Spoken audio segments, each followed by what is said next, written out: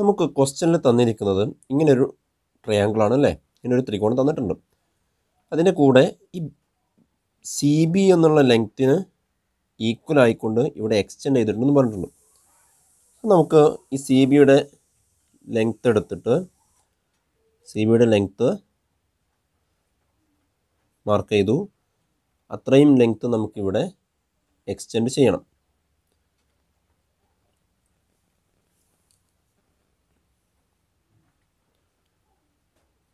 C ബിയുടെ അത്രയും length നമ്മളിവിടെ എക്സ്റ്റെൻഡ് ചെയ്തു. ഓക്കെ എന്നിട്ട് അത് ആ ഒരു പോയിന്റിന് ഡി എന്ന് നെയിം കൊടുക്കുക. അത് ബിയിലേക്ക് കണക്ട് ചെയ്യുക ഇത്രയും കാര്യങ്ങളാണ് ക്വസ്റ്റ്യനിൽ പറഞ്ഞിട്ടുള്ളത്. എന്നിട്ട് ഈ ബി ഡി എന്ന് പറയുന്ന ലൈനിന് സമാന്തരമായിക്കൊണ്ട് പാരലായിക്കൊണ്ട് ഒരു ലൈന് ഈ സിയിലൂടെ എ ബിയിലേക്ക് വരയ്ക്കാനും പറഞ്ഞിട്ടുണ്ട്. അപ്പോൾ ഇതാ നോക്കിയേ. ഈ ലൈനിന് പാരലായിട്ട് ലൈൻ വരയ്ക്കുകയാണ്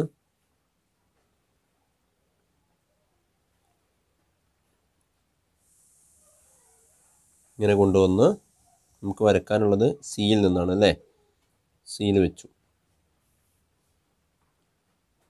സിയിൽ നിന്ന് ഒരു പാരലൽ ലൈന് ബി ഡിക്ക് പാരലായിട്ട് ലൈൻ വരച്ചു. അതിന് നെയിം കൊടുത്തു ഇ എന്ന് കൊടുത്തു. ഓക്കെ അപ്പോൾ ഇത് നമ്മൾ പിന്നീട് എക്സ്ട്രാ ചേർത്തതാണ് അല്ലേ? ഇതിന്റെ പ്രത്യേകത ഇതിൽ ബി സി അതായത് C B equal to C D ആണ്. B D parallel to C E ഇത്രയും കാര്യങ്ങളാണ് നമുക്ക് ക്വസ്റ്റ്യനിൽ തന്നിട്ടുള്ളത്. Okay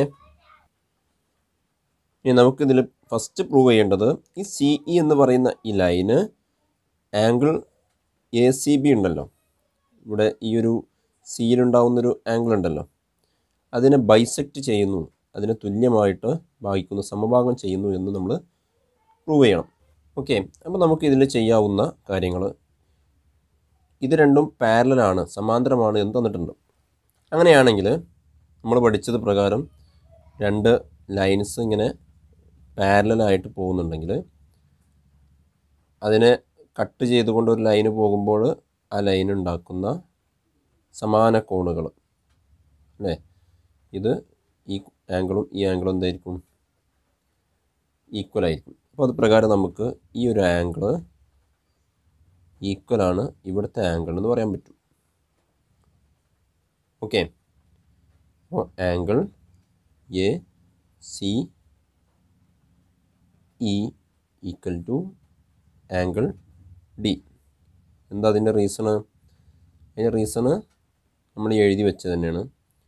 B D parallel to C E B ഡിക്ക് സമാന്തരമാണ് സി ഇ എന്നുള്ളത് കൊണ്ട് ഈ രണ്ട് കോണുകൾ തുല്യമായിരിക്കും. ഇനി അതേപോലെ നോക്കിയേ. ഇവിടെ ഒരു ലൈന് അതായത് ഈ പാരലൽ ലൈനിൽ തന്നെ ഇതാ രണ്ട് പാരലൽ ലൈൻ ഉണ്ട്. അതിനെ കട്ട് ചെയ്തുകൊണ്ട് ഇങ്ങനെ ഒരു ലൈന് പോവാണ്. അല്ലേ? അപ്പോൾ അതിൽ ഇവിടെ ഉണ്ടാവുന്ന ആംഗിളും ഇവിടെ ഉണ്ടാവുന്ന ആംഗിളും ഈക്വൽ ആയിരിക്കില്ലേ ഇവിടെ ഉണ്ടാവുന്ന ആംഗിളും ഇവിടെ ഉണ്ടാവുന്ന ആംഗിളും ഇത് ആൾട്ടർനേറ്റീവ് ആംഗിൾസ് ആണ് മറുകോണുകൾ. അപ്പോൾ ഇതിന്റെ ആൾട്ടർനേറ്റീവ് ആംഗിൾസ്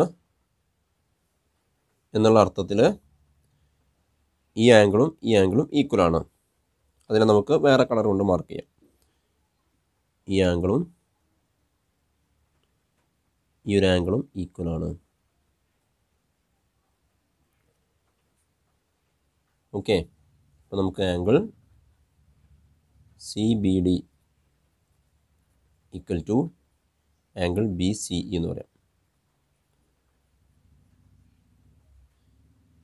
ഇനിയാണ് നമ്മുടെ ക്വസ്റ്റ്യനിൽ ടെസ്റ്റ് വരാൻ പോകുന്നത്.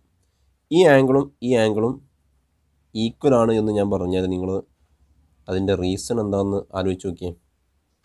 ഈ രണ്ട് ആംഗിളും ഈ യെല്ലോ ഈ ബ്ലൂവും ഈക്വലാണ് അതിന്റെ റീസൺ എന്താ? ഓക്കെ നിങ്ങൾക്ക് കിട്ടിയിട്ടുണ്ടാവുമല്ലോ. നമ്മൾ ഈ ലെങ്ത്തിന് ഈക്വലായ ലെങ്ത്താണ് ഇവിടെ കൊടുത്തിട്ടുള്ളത്. അല്ലേ? അതായത് ഈ സി ബിയും സി ഡിയും ഈക്വലാണ് അങ്ങനെയാണെങ്കിൽ ഈ ആംഗിളും ഈ ആംഗിളും ഈക്വൽ ആയിരിക്കും. കാരണം ഇതൊരു ട്രയാംഗിളായിട്ട് നമ്മൾ കൺസിഡർ ചെയ്താൽ ഈ രണ്ട് സൈഡും ഈക്വൽ ആണല്ലോ. അപ്പോൾ അതിന്റെ ഓപ്പോസിറ്റ് ആംഗിൾ ഇതിന്റെ ഓപ്പോസിറ്റ് ആംഗിൾ ഈക്വൽ ആയിരിക്കും. ഐസോസിസ് ട്രയാങ്കിളായി സമപാർശ്വ ത്രികോണമായി. സമപാർശ്വ ത്രികോണത്തിൽ തുല്യമായ വശങ്ങളുടെ എതിരെയുള്ള കോണുകൾ തുല്യമായിരിക്കും. അപ്പോൾ അതിൽ കോൺ ഡി സമമാണ് കോൺ സി ബി ഡി എന്ന് പറയാം. അങ്ങനെയാണെങ്കിൽ ഇതിൽ നമുക്ക് കണക്ട് ചെയ്യാം.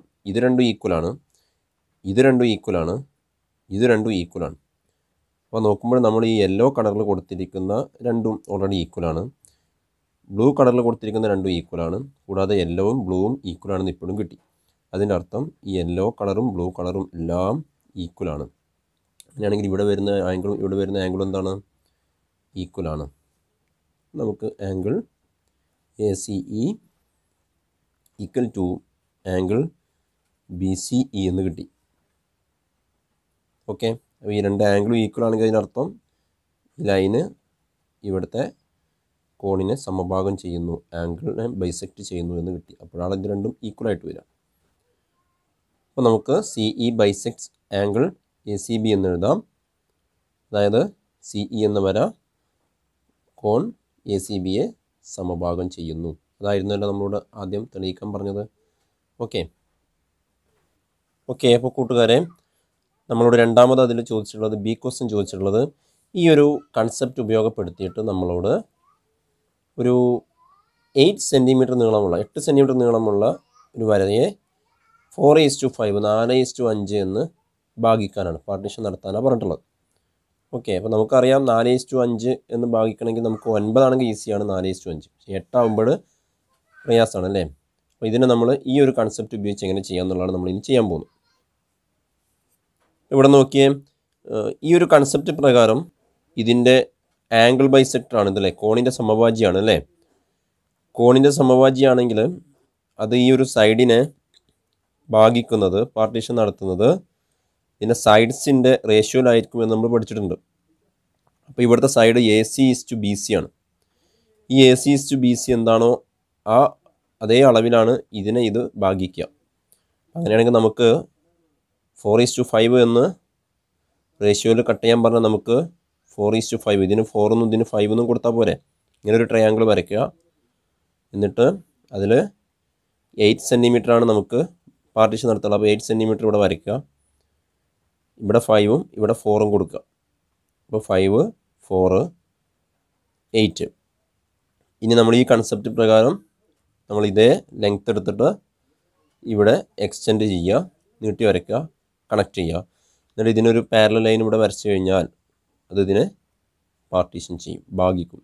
ഭാഗിക്കുമ്പോൾ ഇത് കോണ് സമഭാജിയാണ് എന്ന് നമ്മൾ ഇപ്പോൾ പ്രൂവ് ചെയ്തിട്ടുണ്ട് അല്ലേ? കോണിന് തുല്യമായിരിക്കും ഈ രണ്ട് കോണുകൾ ഈ രണ്ട് കോണുകളും തുല്യമായിട്ട് കോണ് സമഭാജിയാണ് വരക്കുന്നതെങ്കിൽ ആംഗിൾ ബൈസെക്ടർ വരക്കുന്നതെങ്കിൽ നമ്മൾ മുമ്പ് ഒരു കൺസെപ്റ്റിൽ പഠിച്ചിട്ടുണ്ട്. അങ്ങനെയാണെങ്കിൽ ഈ സൈഡും ഈ സൈഡും എന്ത് റേഷ്യോയിലാണോ അതേ റേഷ്യോയിലായിരിക്കും ഇതിവിടെ കട്ട് ചെയ്യുക അപ്പോൾ ഇനി ആ ഒരു മെത്തേഡാണ് നമ്മൾ യൂസ് ചെയ്യാൻ പോകുന്നത്. ഓക്കെ അപ്പോൾ നമ്മൾ എയ്റ്റ് സെന്റിമീറ്റർ ഫോറ് ഫൈവ് വരുന്ന രീതിയിൽ നമ്മൾ എന്ത് ചെയ്യാൻ പോണ്? ട്രിയാങ്കിൾ വരയ്ക്കണം. എന്നിട്ട് ഈ ഫോർ എടുത്തിട്ട് ഇവിടെ നീട്ടി വരയ്ക്കും. ഓക്കെ നമ്മളോട് അത് എക്സ്പ്ലെയിൻ ചെയ്ത് കൊടുക്കാൻ പറഞ്ഞിട്ടുണ്ട്. നമ്മൾ എക്സ്പ്ലെയിൻ ചെയ്യാണ്. നേരെ നമ്മൾ ഫസ്റ്റ് എയ്റ്റ് സെന്റിമീറ്റർ ലെങ്ത്തിലുള്ള ലൈൻ ആദ്യം വരയ്ക്കുകയാണ്. കാണുന്നുണ്ടല്ലോ? എയ്റ്റ് സെന്റിമീറ്റർ ലെങ്ത്തിലുള്ള ലൈൻ വരച്ചിട്ടുണ്ട്. ഇനി അതിൽ നമുക്ക് എന്ത് ചെയ്യണം? ഫോർ സെന്റിമീറ്ററും ഫൈവ് സെന്റിമീറ്ററും വരയ്ക്കണം. അതാ നമ്മൾ ഫോർ സെന്റിമീറ്റർ എടുക്കാൻ പോവാണ്. ഓക്കെ ഫോർ സെന്റിമീറ്റർ കറക്റ്റ് എടുത്തിട്ടുണ്ട്. ഇവിടെ നമ്മൾ ഫോർ സെന്റിമീറ്റർ വരച്ചു. ഒരു ഫൈവ് സെന്റിമീറ്റർ നമുക്ക് എടുക്കണം. ഫൈവ് സെന്റിമീറ്റർ എടുത്തു. ഓക്കെ ഇവിടെ നമ്മൾ ഫൈവ് സെന്റിമീറ്റർ വരയ്ക്കുക.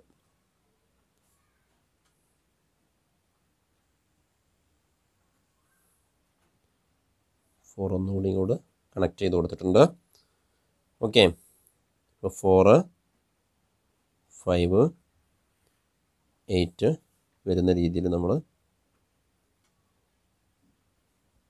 ട്രയാങ്കിൾ വരച്ചു. ഇനി എന്താ നമ്മൾ നെക്സ്റ്റ് സ്റ്റെപ്പ് ചെയ്യേണ്ടത്?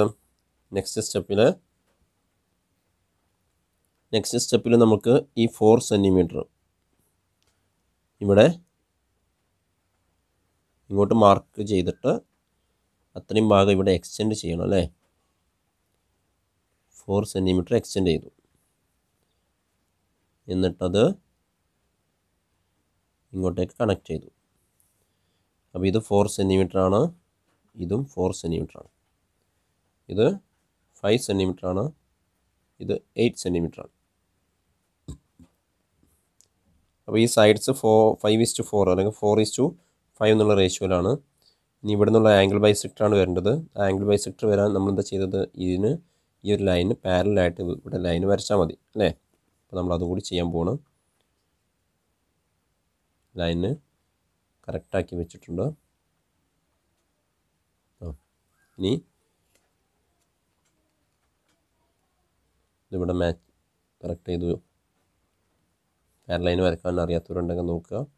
ഒരു പെർപ്പൻഡിക്കുലർ സൈഡിൽ രണ്ട് ലംബവശങ്ങളുണ്ടാവും അതിലൊരു ലംബവശം നമുക്ക് ഏത് ലൈനാണോ വരയ്ക്കേണ്ടത് അവിടെ കൊടുന്ന് വെക്കുക. രണ്ടാമത്തേൽ സ്കെയിൽ കൊടുന്ന് വെക്കുക. എന്നിട്ട് സ്കെയിലിലൂടെ ഇതിങ്ങനെ നീക്കി കൊണ്ടുവന്നിട്ട് എവിടെയാണോ നമുക്ക് വരയ്ക്കേണ്ടത് അവിടെ എത്തിയാൽ നമ്മൾ നിർത്തുക. ഓക്കെ അപ്പോൾ കറക്റ്റായിട്ട് ഇവിടെ വെച്ച് കൊടുന്ന് വെക്കാം. ഇനി നമുക്ക് വരക്കാനുള്ളത് ഈ ഒരു പോയിന്റിൽ നിന്നാണ്. ഈ ഒരു പോയിന്റിൽ നിന്ന് വരച്ചാൽ ഇത് ആംഗിൾ ബൈസെക്ടർ ആയിരിക്കും. കോണിന്റെ സമഭാജിയായിരിക്കും ഇവിടുത്തെ കോണും ഇവിടുത്തെ കോണും നമുക്ക് തുല്യമായിട്ടാണ് കിട്ടും അപ്പം അങ്ങനെ ആകുമ്പോൾ ഇത് ഫൈവ് ഈസ് ടു ഫോർ ഇവിടെ ഫൈവ് ഇവിടെ ഇത് ഫൈവ് പാർട്ടും ഇത് ഫോർ പാർട്ടും ആയിട്ട് മാറും. ഈ എയ്റ്റ് സെന്റിമീറ്ററിന് ഫൈവ് ഈസ് ടു ഫോർ ആയിട്ട് നമുക്ക് പാർട്ടീഷൻ നടത്താൻ പറ്റി. ഓക്കെ ഇനി ഈ ഇതേ ഒരു കൺസെപ്റ്റ് യൂസ് ചെയ്തിട്ട് നമ്മളോട് എയ്റ്റ് സെന്റിമീറ്റർ നീളമുള്ള ഒരു ലൈനെ ത്രീ ഈസ് ടു ഫോർ എന്നുള്ള റേഷ്യോയിൽ കട്ട് ചെയ്യാൻ പറ്റുമോ എന്ന് നമുക്ക് അങ്ങനെ വരയ്ക്കാൻ പറ്റുമോ എന്ന് ചോദിച്ചിട്ടുണ്ട്. അതാണ് അതിന്റെ തേർഡ് ക്വസ്റ്റ്യൻ അങ്ങനെ വരയ്ക്കാൻ പറ്റുമോ എന്ന് ചോദിച്ചാൽ നിങ്ങൾക്ക് ആദ്യം നിങ്ങളുടെ മനസ്സിലേക്ക് വരേണ്ടത് നമ്മളിപ്പോൾ ഇവിടെ ഫൈവ് ഈസ് ടു ഫോർ ആയപ്പോൾ നമ്മളിവിടെ ഫൈവും ഫോറും സൈഡ് എടുത്തിട്ടൊരു ട്രയാങ്കിൾ ആദ്യം വരയ്ക്കുകയാണ് ചെയ്ത് അപ്പോൾ നമുക്ക് ത്രീ ഈസ് ടു ഫോർ ആകുമ്പോൾ ത്രീയും ഫോറും സൈഡായിട്ട് വരണ്ടേ? ത്രീയും ഫോറും സൈഡായിട്ട് വരുമ്പോൾ ഇവിടെ എയ്റ്റ് ആണ് ഇവിടെ ത്രീ ആണ് ഫോറാണ് അപ്പോൾ ഇതിന്റെ സൈഡ്സ് എയ്റ്റ് ത്രീ ഫോർ. ഇങ്ങനെയല്ലേ വരിക? ഇങ്ങനെ വരുന്ന അളവുകളിൽ നമുക്കൊരു ട്രയാങ്കിൾ ആദ്യം വരച്ച് വെക്കണം അല്ലേ? എയ്റ്റ് ത്രീ ഫോർ ആദ്യം നിങ്ങൾ മനസ്സിലാക്കേണ്ടത് ഇങ്ങനെ ഉള്ള അളവിൽ നമുക്ക് ഒരു ട്രയാങ്കിൾ ഒരു ത്രികോണം വരക്കാൻ കഴിയുമോ എന്നുള്ള ഒരു ചോദ്യത്തിന്റെ ഉത്തരം നമ്മൾ ആദ്യം കണ്ടുപിടിക്കേണ്ടത്. കഴിയുമോ? ഇല്ല കഴിയില്ല. കാരണം ഇത് എട്ടാണ്. ഇത് രണ്ടും കൂടി കൂട്ടിയാൽ ബാക്കി രണ്ടും കൂടി കൂട്ടി എത്ര വരുന്നുള്ളൂ? ഏഴ് വരുന്നുള്ളൂ. അല്ലേ? മിനിമം നമുക്ക് എട്ടിന് മുകളിലുള്ള ഏതെങ്കിലും ഒരു സംഖ്യ കിട്ടണം. അങ്ങനെയാണെങ്കിൽ അത് ട്രയാങ്കിൾ ആവുള്ളൂ. അതിന്റെ കാരണം എന്താ? ഇതിപ്പോൾ എയ്റ്റ് വരച്ചു. ഇവിടുന്ന് ഫൈവും ഫോറും വരച്ചപ്പോൾ ഇവിടെ വെച്ചിട്ട് കൂട്ടിമുട്ടി. അത് കാണിക്കാനാണ് ഞാൻ ഇങ്ങനെ വരച്ചിട്ടുള്ളത്. ഇവിടെ ഇവിടുന്നും വരച്ചത് കൂട്ടിമുട്ടിയെടുത്തേക്കാണ് നമ്മൾ എന്ത് ചെയ്തത്? ട്രയാങ്കിൾ വരച്ചത്. അങ്ങനെ കൂട്ടിമുട്ടണമെങ്കിൽ ത്രീയും സെവനും ഒരിക്കലും കൂട്ടിമുട്ടില്ല. ത്രീ നമ്മൾ ഇവിടുന്ന് ഇങ്ങനെ വരക്കും ഫോർ ഇവിടുന്ന് ഇങ്ങനെ വരക്കും അതിനിടയിൽ ഒരു ഗ്യാപ്പ് വരും. അല്ലേ? കാരണം ഇത് എയ്റ്റ് ആണ്. ഇത് രണ്ടും കൂടി കൂട്ടി ആകെ സെവനേ ഉള്ളൂ. അപ്പോൾ എയ്റ്റിനേക്കാളും കൂടുതലുണ്ടെങ്കിൽ മാത്രമേ കൂട്ടിമുട്ടുള്ളൂ. ഓക്കെ അപ്പോൾ ഒരു ട്രയാങ്കിൾ ആവണം മൂന്ന് അളവുകൾ തന്നാൽ അത് ഉപയോഗിച്ചൊരു ത്രികോണം വരക്കാൻ കഴിയണമെങ്കിൽ ഒരു ട്രയാങ്കിൾ വരക്കാൻ കഴിയണമെങ്കിൽ ഉള്ള കണ്ടീഷന് അതിലെ കൂട്ടത്തിൽ വലിയ അളവിനേക്കാളും കൂടുതൽ വരണം ബാക്കി രണ്ട് അളവും കൂടി കൂട്ടുമ്പോൾ. ഓക്കെ ഇവിടെ നിങ്ങൾ നിങ്ങൾക്ക് സ്വന്തം വർക്ക് ചെയ്ത് നോക്കിയാൽ അറിയാം. എന്താണ്? ഒരു എയ്റ്റ് എടുത്തിട്ട് വരച്ചു. എന്നിട്ട് ഇവിടുന്ന് ത്രീയും ഇവിടുന്ന് ഫോർ കൊടുത്താൽ വേണമെങ്കിൽ നമുക്കൊന്ന് ട്രൈ ചെയ്ത് നോക്കാം. ഒരു എയ്റ്റ് സെന്റിമീറ്റർ ലെങ്ത്തിൽ ആദ്യം ഒരു ലൈൻ വരക്കാം നിങ്ങൾക്ക് നേരിട്ട് കണ്ട് തന്നെ ബോധ്യപ്പെടുത്താൻ വേണ്ടിയിട്ടാണ് ഒരു എയ്റ്റ് സെന്റിമീറ്റർ ലെങ്ത്തിൽ ലൈൻ വരക്കാം ഇനി അതിൽ ത്രീ ഈസ് ടു ഫോർ ആയതുകൊണ്ട് നമുക്ക് എത്ര വരണം? ത്രീ സെന്റിമീറ്റർ ഒരു സൈഡ് വരണം. ഒരു സൈഡ് ഫോർ സെന്റിമീറ്റർ അപ്പോൾ ഞാൻ ഫോർ ഓൾറെഡി ഇതിലുള്ളത് കൊണ്ട് ആദ്യം ഒരു ഫോർ എടുത്തു. ഇത് ഫോറാണ് ഇനി അടുത്തതായിട്ട് നമുക്ക് ത്രീ എടുക്കണം. ത്രീ എടുത്തു. ഇതാ നമ്മൾ പറഞ്ഞതുപോലെ അതെന്ത് ചെയ്യുന്നില്ല കൂട്ടിമുട്ടുന്നില്ല ഇങ്ങനെ വരുള്ളൂ. രണ്ടും കൂടി കൂട്ടിമുട്ടിയാൽ നമുക്ക് ട്രയാങ്കിൾ ഉണ്ടാക്കാൻ പറ്റുള്ളൂ. അപ്പോൾ ഈ ഒരു മെത്തേഡിൽ നമുക്ക് ഇങ്ങനെ വരയ്ക്കാൻ കഴിയില്ല. അതിന്റെ റീസൺ എന്താണ്? എയ്റ്റ് ത്രീ ഫോർ അളവുകൾ ഉപയോഗപ്പെടുത്തി നമുക്കൊരു ട്രയാങ്കിൾ നിർമ്മിക്കാൻ പറ്റില്ല. അതുകൊണ്ടാണ് ഈ ഒരു മെത്തേഡ് യൂസ് ചെയ്തിട്ട് നമുക്ക് എന്ത് ചെയ്യാൻ പറ്റില്ല? എട്ട് സെന്റിമീറ്റർ നീളത്തെ മൂന്ന് ഇസ്റ്റു നാല് എന്നുള്ള അളവിൽ ഭാഗിക്കാൻ പറ്റില്ല എന്ന് പറയുന്നത്. ഓക്കെ ക്ലിയർ ആയല്ലോ?